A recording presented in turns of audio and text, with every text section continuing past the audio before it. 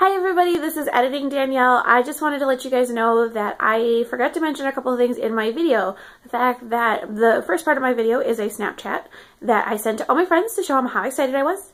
And then I met Tyler Oakley on October 25th, and this is going to be uploaded on November 1st. So it'll be a week from the time I actually met him.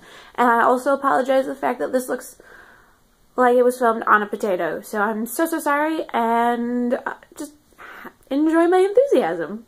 Bye guys. So I just met Tyler Oakley like 20 minutes ago and I'm already back in my dorm and I can't breathe and oh my god, it was awesome and ah! Hi everybody, um, sorry if this looks a bit weird. I'm using uh, my vlog camera. Um, I didn't have time to set up my other camera. I just really wanted to say that I got to do something pretty cool. I went to Tyler Oakley's uh, meet and greet slash book signing uh, here in Milwaukee and it was very interesting experience. I stood in line for several hours um, just, just to say hi, I think you're really awesome, and I got his book. So here's Binge. It's pretty awesome looking. I can't wait to read it. I'm so excited.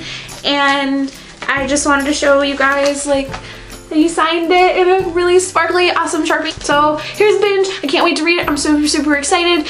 Um, I gave Tyler a couple hugs. I was really excited. I was really happy. I cannot even describe. It's so different seeing someone on a screen and meeting them in person. It's very different. It's a very different experience.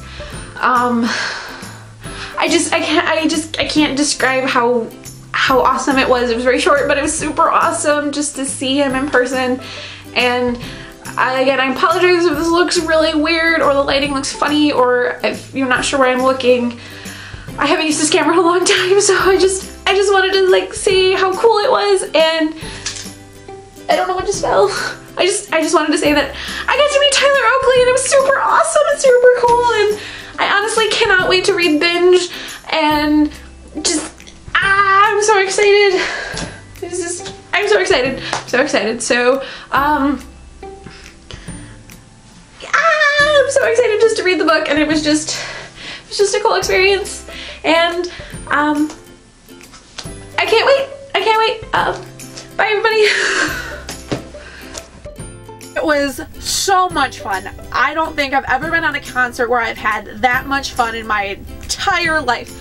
I got to sing, I was dancing, there was lots of clapping and cheering and screaming. I'm actually really surprised I didn't lose my voice because I was singing